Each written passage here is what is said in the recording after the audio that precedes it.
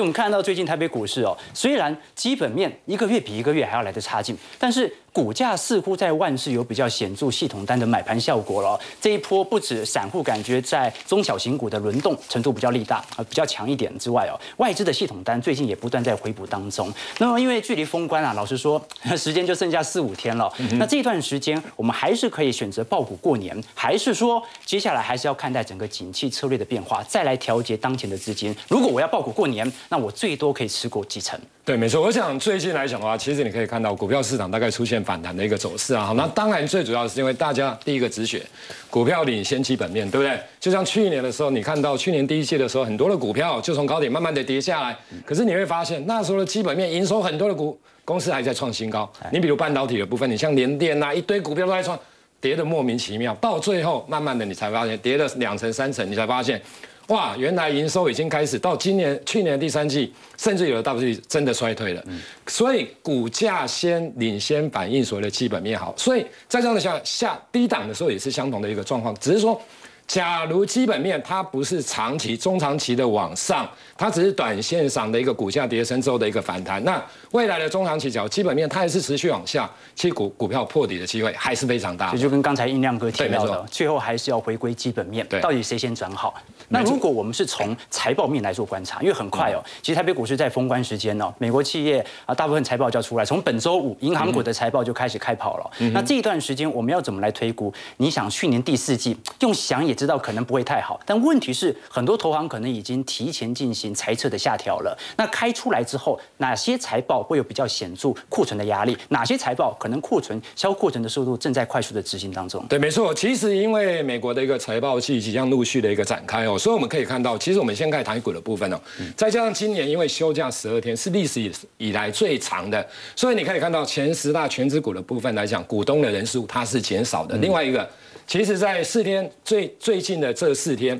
融资四天减了五十亿，你说多不多？大家都走了，对，大家也不太想玩，不管主力业内也不太想玩的。好，那我们看一下，其实减幅相对上来讲比较大的台积电，因为它要法说嘛，所以大家多多少少还是会怕了，所以先走为妙也是对的。那第二个来讲的话，就像国泰金呐。哦，等等这一些金融股的部分，哦，国泰金呐，它的减幅相对上来讲也比较，因为大家也担心所谓的金融股的一个部分，好，所以我认为啦，就是说，假如短时间或者是未来还是有疑虑的，其实大家还是应该先以解码为主。好，那回到财报季的部分哦，其实你看一下，预估去年的一个第四季的一个财报，标普五百指数它的一个 Y Y 获利的部分会比。前一年下滑四点一趴的一个水准，是二零二零年疫情以来的一个新低。这个大概是从正的六趴一直下修下修下修到变成负的四点一一趴。其实这样下修的角度也非常的一个陡好耐。那重点来了，就过去的经验，我们应该讲，大概最近这三十年的经验，其实公布实际的公布的数字，一般会比市场预期来的好哦，大概有六成以上会来到。可是重点来了，万一不好，那就非常的麻烦哦，因为。你可以看一下梅西百货当天股价为什么跌了七点六八趴？其实梅西百货你知道它的本益比几倍吗？四点五倍啊！股价还可以当天跌了七点八七点六八趴，因为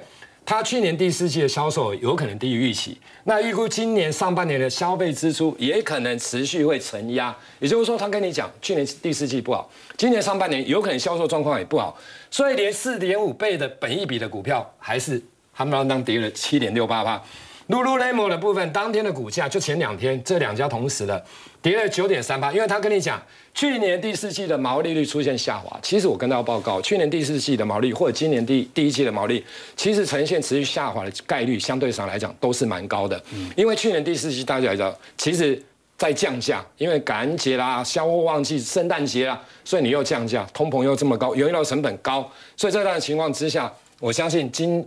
公布的时候，其实。又又有可能不如之前优于预期这样六十五趴或六十趴以上的水准啊，所以假如说以这样的一个情况来看的话，你的操作面目前其实我认为啦哈，爆股过年你最多两三成，你不要爆太多，因为刚刚提到了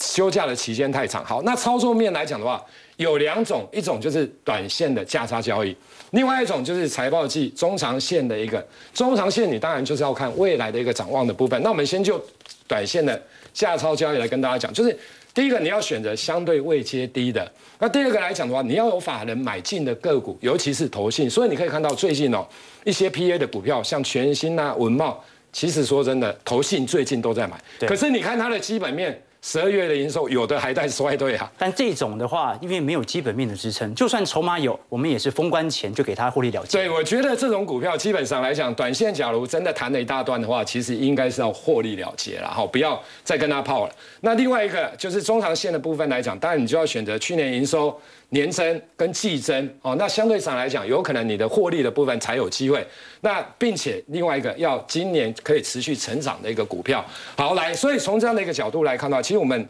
大概有这几档股票，你看一下法人的部分来讲，投信最近这一个月买了一万多张，所以你可以看到中心店最近的股价其实震荡走高了哈，不管是储能等等，最近一个月涨三十五趴。那你说这种股票这个地方能不能来？我觉得不要了，你这种要等拉回，因为。大盘其实最近这一个月说真的没什么涨，然后甚至于还跌，可是它已经涨了三十八，你要等待拉回。新向的部分，投信买一千四百九十七张，股价涨二十四趴。其实从这个角度来看呢，我个人觉得啦，你看一下茂联的部分，最近这一个月外投信买了六千八百多张，股价反而还没涨哦。那我所以我觉得就是说，以这样的情况来，你现在买的跟投信的，你比成成本比投信还来的低。所以我觉得这种相对上来讲会是比较好。那这为什么？因为